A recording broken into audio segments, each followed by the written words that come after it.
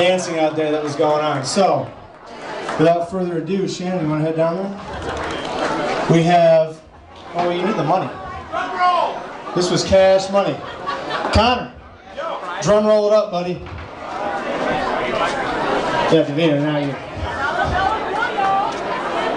All right, so again, I want to thank all of our judges. I want to thank all of our competitors who competed over all the weeks. We had like 40 people compete in this contest over a month. So give all of them a hand. I'd like to give Famous Dave's a hand for putting this on for us, because without them, this wouldn't have happened. All right.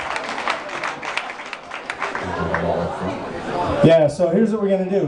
Why don't we have some people kind of scoot up front here? Because we're what we're gonna do is we're gonna have our competitors line up third through first. So here we go. Oh wait, I need the numbers.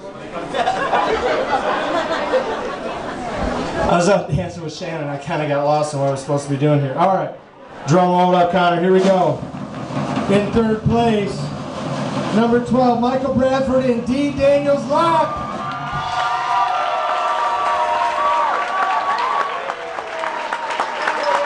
All right, give a hand, third place.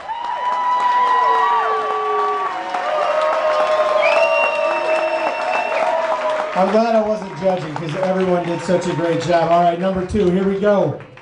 Number two, Midwest Lindy Fest, famous people, Dom Pomeroy and Stacia Martin.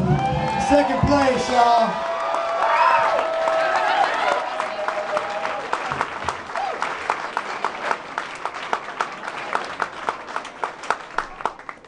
Fucking, you want your money? Did you get it? Oh.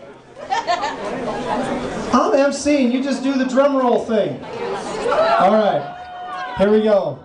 First place, back on top, Stan Ponkin and Lisa Ponkin. Get on up here.